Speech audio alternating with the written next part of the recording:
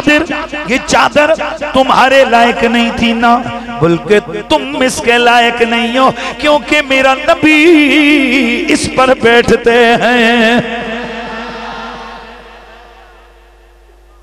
ध्यान है ना जी? आशकों का अपना अंदाज़ा। या रसूल अल्लाह मैंने अपने ऊपर यहूदी को कभी सवारी नहीं करने दी। मैं उसे गिरा देता हूँ। हुजूर, मैं चाहता हूँ कि आप मुझे अपनी गुलामी में कबूल फरमाए। मेरे नबी ने यहूदी से उसको खरीदा। मेरे आका हजूर ने उसका नाम रखा याफूर। तवज्जो, क्या नाम रखा? याफूर नाम है, याफूर नाम है। अब याफूर मेरे नबी की सवारी का दराज गोश और जानवर है। मेरा नबी इस पे बैठे। उधर मेरे नबी का जसद अतर, इसके जिस्म से मस हुआ इसकी जरा शूर और इसका मामला देखो क्या है। मेरे आका के दरबार में हर वक्त ये बाहर खड़ा रहता, हुजूर निकलते। मेरे आका फरमाते, याफूर, अली को बुला लाओ। याफूर अबू बकर को बुला लाओ, याफूर फुला सिहाबी को बुला लो ये याफूर जाता, जाकर उनके दरवाजे पे दस्तक देता। दस्तक कैसे? मुँह मारता। अबू बकर सिद्दीक बाहर निकलते, दीगर सियाबा निकलते, देखते याफूर खड़ा है, समझ जाते, हुजूर ने बुलाया है। मेरा नबी जब कभी भी इस पे सवार होते, जितनी देर हुजूर सवार रहते, कभी इसने पेशाब लीद नहीं की। ध्यान रहे ध्यान रहे। अल्लाह अकबर, मेरे दोस्तों, मेरे मदनी आका सैयद कोनैन का जब विशाल हुआ, अब मैं आता हूँ याफूर मेरे नबी के इश्क की बात समझो लोगो, मेरे नबी के प्यार का रंग देखो, मेरे आका का विसाले बा कमाल हुआ।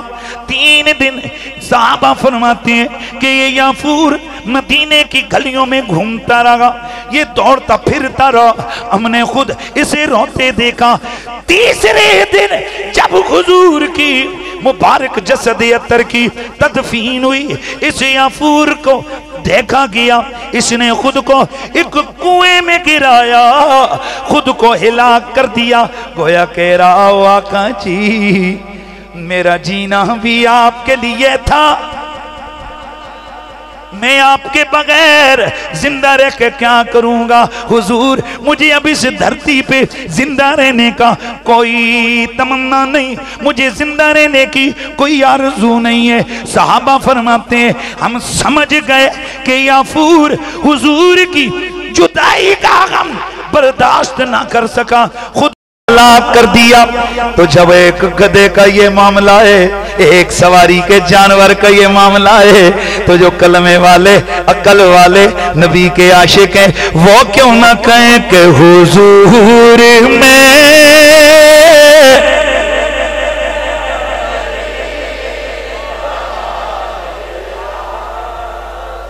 से गए हुजूर मेरी तो सारी बाहर आप से गए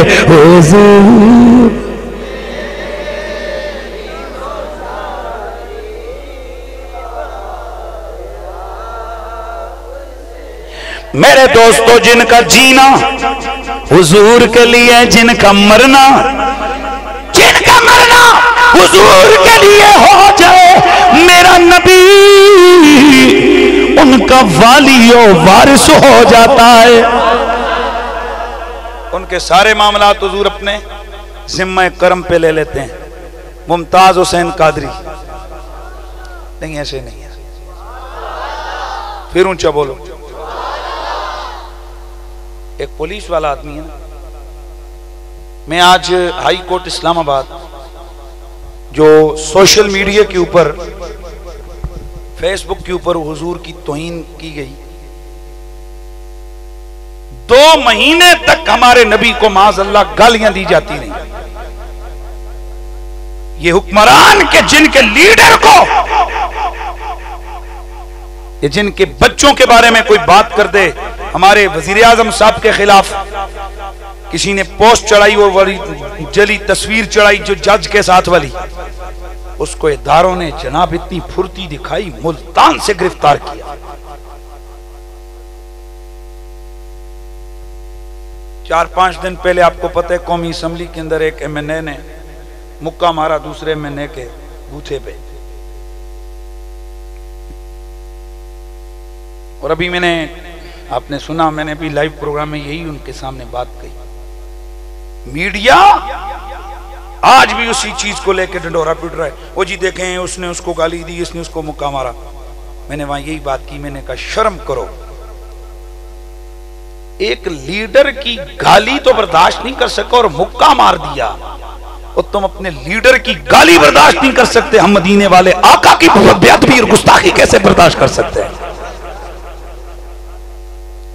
और ये बेगैरत जिनको हमने वोटें दे देकर असेंबलियों में भेजा है, इनको लीडरों के लिए तो लड़ने की फुर्सत है।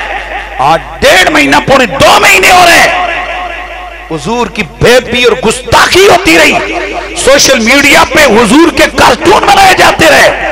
लेकिन इनमें से किसी एक बेगैरत को भी इतनी ज़रूरत नहीं हुई कि वो असेंबली के फ्लोर पे खड़ा होकर इसकी मुजम्मत कर सकता। इसका मतलब ये है कि ये जो भी गए हुए हैं, ये इनके अपने सियासी अजायम और मकासद हैं। अगर हुजूर की आवाज़ बुलंद करना है असेंबली में तो वहाँ पर किसी आश के रसूल को जाना होगा। और याद रखो हजरात आश के रसूल जहाँ भी हो, वो अपना रंग दिखा देता है। एक को एक जज है इस्लामाबाद के अंदर, जस्टिस शौकत सिद्दीकी। एक जज है जो काम ये सारे मिल के न कर सके, उस अकेले ने करवा दिया। हमारी मोहब्बतें और हमारी नफरतें हजूर के हवाले से हैं। हम प्यार भी उससे करते हैं जो हजूर का है, और नफरत उससे करते हैं जो हजूर से कट जाए, जो हजूर का गुस्ताख हो जाए। तो मैं अर्ज़ कर रहा था कि ये जो सोशल मीडिया है, इसके ऊपर ये बेदतियाँ और गुस्ताखियाँ हो रही हैं। और जज ने जो बात कही, यकीन कीजिए हमें भी शर्मिंदगी हुई। यकीनन आप भी उलमाए सारे इस बात पे गौर करें। जज ने कहा कि आखिर पाकिस्तान के उलमा क्यों खामोश हैं?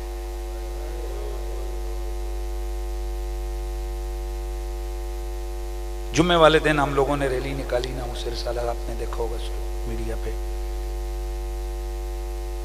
आप यकीन करें, रात पाँच, शाम पाँच बजे हमारा फैसला हुआ और सुबह हमने रैली निकाली। आप वो देख सकते हैं कितने हज़ारों लोग जमा मैं अपने उलमा जितने दोस्त थे, उनसे कह रहा था, इसका मतलब है, इनमें आज भी आग मौजूद है।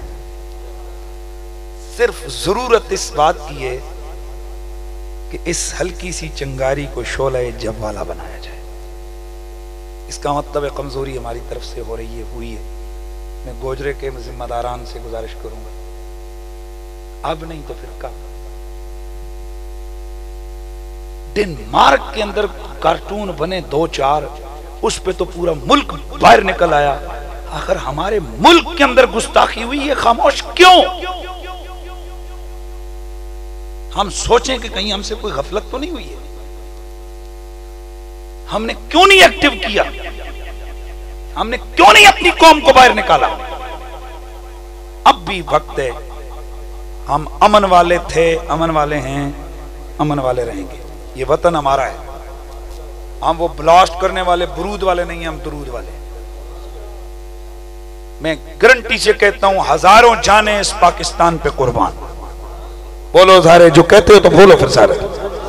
हज़ारों जाने इस पाकिस्तान पे, लेकिन ये भी सुन, इस जैसे हज़ारों पाकिस्तान हुजूर की इज़्ज़त पे कुर्बान।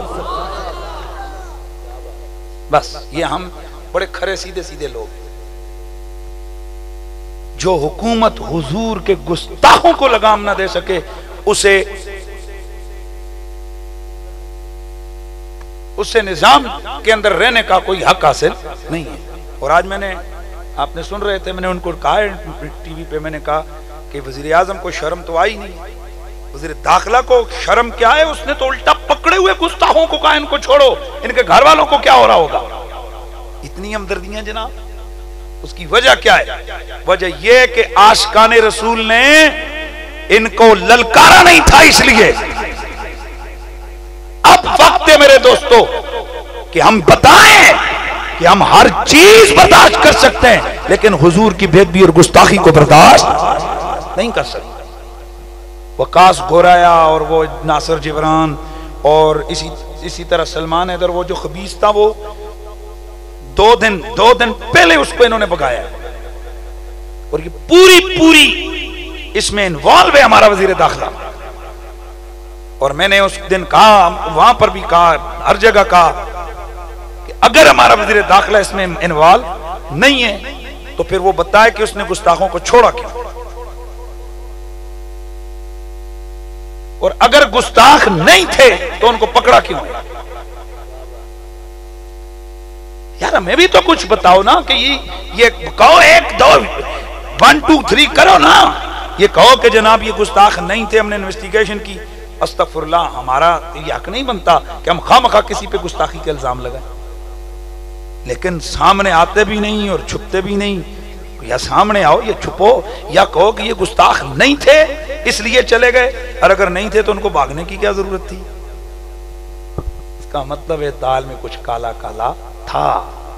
पूरी दाली ही काली तो ए मेरे आका हजूर के गुलामों, आज की ये कॉन्फ्रेंस करने का मतलब यही है कि हम अपने अकीदे के लिहाज से, जज्बात के लिहाज से तैयार हैं। या उलमा भी हैं, अवाम भी हैं। हम में से हर आदमी इस सोच और इस फ़िक्र में रहे कि अल्लाह और उसके हबीब के अजमत के लिए जब भी हमारी ज़रूरत पड़ी तो हम सहाबा वाला नारा लगाएँगे, मेरा जीना हुजूर के लिए।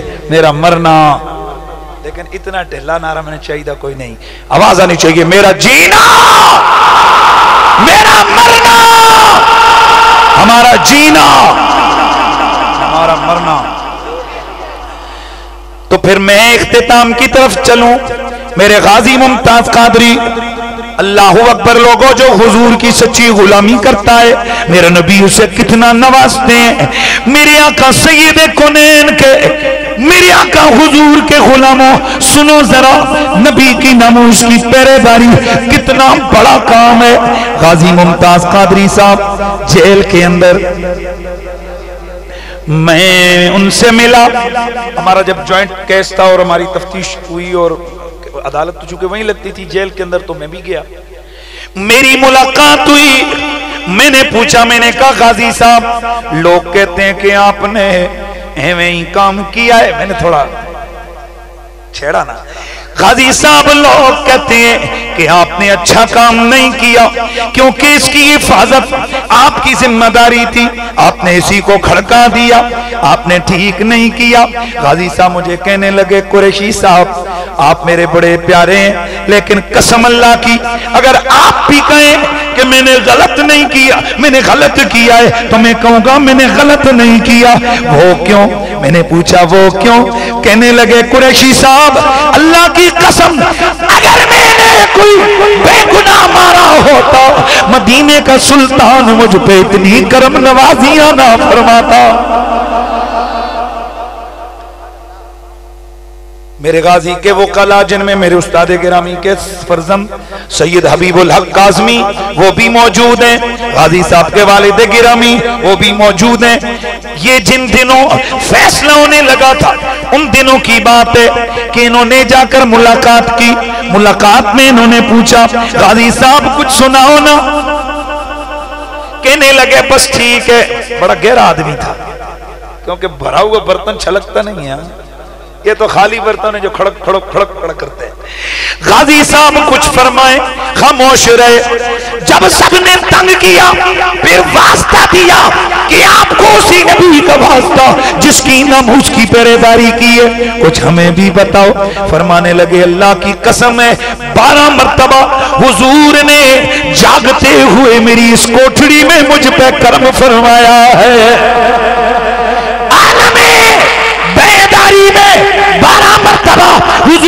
मुझे अपना जलवा दिखा चुके हैं। और जो ख्वाब के मामले में अल्लाह की कसम, मुझे तो तादाद ही याद नहीं है।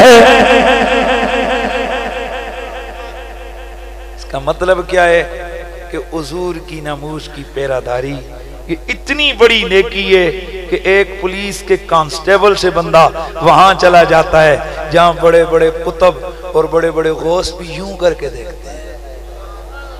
सुबहान अल्लाह की आवाज़ है। हाँ? मैं शजरा सुनाऊँगा, लेकिन फ़ीस कटो। शजरा सुनना है? शजरा सुनना है? सुनना है सुनना है। हम्म? सुनना है शजरा? तो फ़ीस चलेगी। देंगे फ़ीस? तो लो जी, फिर फ़ीस कटो जी। आज के इस शजरे की फ़ीस है कौन कौन मेरे नबी का आशिक है जो अपने चेहरे पे हजूर की मोहब्बत में दाढ़ी सजाएगा? माशाल्लाह माशाल्लाह। माशाल्लाह, ये नहीं, हाथ जरा चुको ना पता लगे। वाह वाह वाह वाह वाह। तो अब जरा आवाज़ आए हुजूर में। सारी बाहर। फ़ीस मैंने ले लिए ये तो हो गई जिनकी दाढ़ियाँ नहीं थी। अब जो दाढ़ियों वाले हैं, उनसे क्या फ़ीस लूँ? चलो जी, फ़ीस मुकरर एक सौ बारी सोने नबी ते दरूद। इधरों कोई नहीं सुबह अल्लाह हुई। हो गया जी? तो सुनो मेरे प्यारे का पाक शजरा, मेरे नबी ने फरमाया, लोगों ने आदम से लेकर अपने वाले दे गिरामी हज़रत अब्दुल्ला तक पाक पुश्तों से पाक रहमों में मुंतकिल हुआ वो पुश्त कौन सी है मेरे नबी मुकर्रम का शजरा जनाब आदम के बेटे शीश शीश के बेटे यानस यानस के बेटे कैनान कैनान के बेटे मिलाइल मिलाइल के बेटे बयारत बयारत के बेटे इदरीस इदरीस के बेटे मुतवश्य मुतवश्य के बेटे लमक नेक नाम लमक नेक नाम के बेटे नूह नूह के बेटे शाम शाम के बेटे जुलाब जुलाब के बेटे शाले शाले के बेटे आबिर आबिर के बेटे ताता ताता के बेटे रावा रावा के बेटे सारू सारू के बेटे नाखूर नाखूर के बेटे तारिख तारिख के बेटे इब्राहिम खलीलुल्लाह इब्राहिम खलीलुल्लाह के बेटे इस्माइल जबीउल्लाह इस्माइल के बेटे केदार केदार के बेटे अमाम अमाम के बेटे हमल हमल के बेटे साबित साबित के बेटे सलामान सलामान के बेटे अलहैसा अलहैसा के बेटे अलियसा अलियसा के बेटे और के बेटे अल्लाह अल्लाह के बेटे अदनान अदनान के बेटे माद माद के बेटे नदर मात के बेटे मुदर मुदर के बेटे लियास लियास के बेटे मुद्रिका मुद्रिका के बेटे खजीमा खजीमा के बेटे किनाना किनाना के बेटे नदर नदर के बेटे मालिक मालिक की बेटी फहर फहर के बेटे गालिब गालिब के बेटे लोई लोई के बेटे काब काब के बेटे मुर्रा मुर्रा के बेटे किलाब किलाब के बेटे कुसई कुसई के बेटे अब्दे मन्नाफ। अब्दे मन्नाफ के बेटे हाशिम। हाशिम की बेटी अब्दुल मुत्तलिब। अब्दुल मुत्तलिब के बेटे अब्दुल्ला। अब्दुल्ला के बेटे मोहम्मद रसूलुल्लाह। हुजूर में रीता सारी।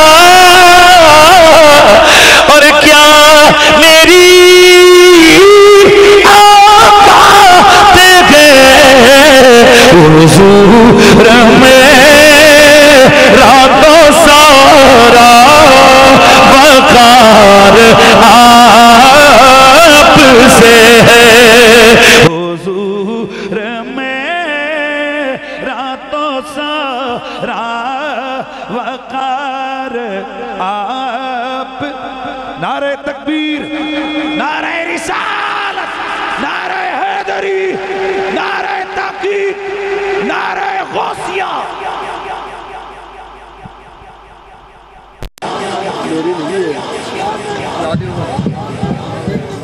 मुस्तफ़ा जाने रहमत पेला खो सलाम शमाए हिदायत पेला सलाम शमाए बज़ में हिदायत पेला ओ सलाम शमाए बज़ में हिदायत जिनकी तलियों को चुमा है जिब्रील ने जिनकी तलियों को चुमा है जिब्रील ने उनके कदमों की अजमत ला हो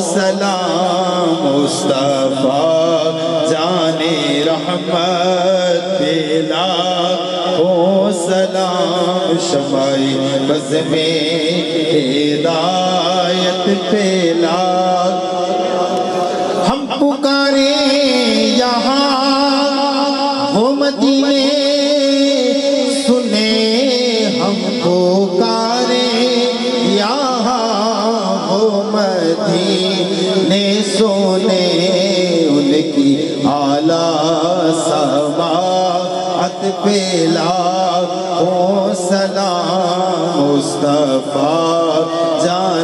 रहमान शमाई बज में हिदायत पेला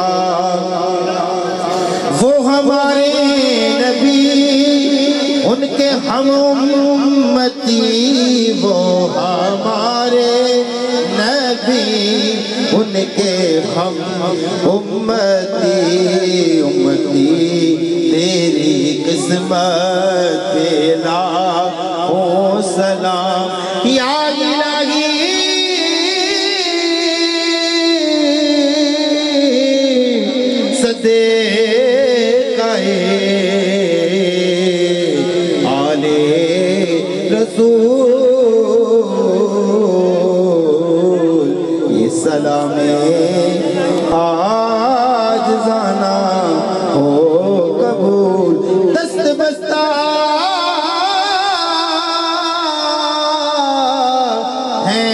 खड़े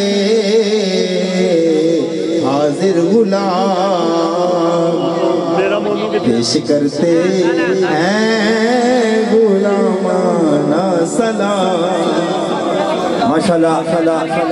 मोहम्मद यासर अमीनी, तौकीर अमीनी अशाद अमीनी, तमाम दोस्तों बाज़ार कराम मुशाजाम जितने भी तशीफ लाए। और दिल दिया गहराइयाँ के सब देश मशहूर हाँ आके महफिल पाक की रौनक दुबाला किया अल्लाह तबारक तरह सब का इस महफिल की निजात का ज़रिया बनाए ले बाबा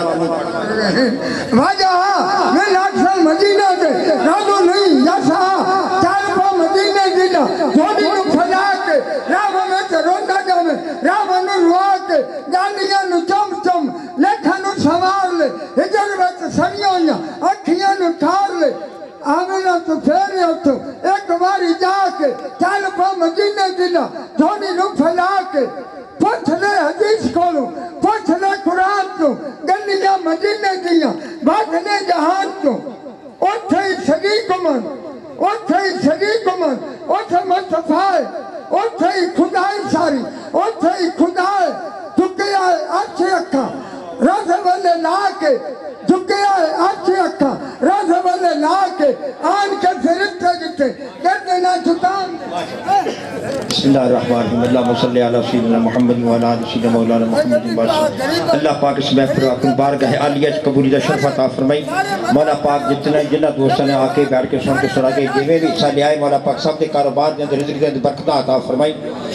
बरकत अता फरमाई मौला पाक महबूब नबी की कसरत के नौजवानों सब नमाज़ पढ़ तौफीक अता फरमा महफिल पाक के जितने भी रुफका हैं या अल्लाह पाक उन्होंने उम्र के अंदर अमलों के अंदर कारोबार के अंदर रिज़्क़ के अंदर अल्लाह सुने बरकत अता फरमा हाजरी ने सब जसगीरा की बिरा गुनाहों माफ़ फरमाई अल्लाह पाक जितने भी बच्चे पढ़ रहे हैं इम्तहान दे रहे हैं सब कामयाबी कामरानी अता फरमा रब्बी फिर वरहम अंत खैर रहमीन व सल्लल्लाहु तआला अला खैर खल्क़िही मुहम्मद व आलिहि व सहाबिही अजमईन अस्सलाम वालेकुम व रहमतुल्लाह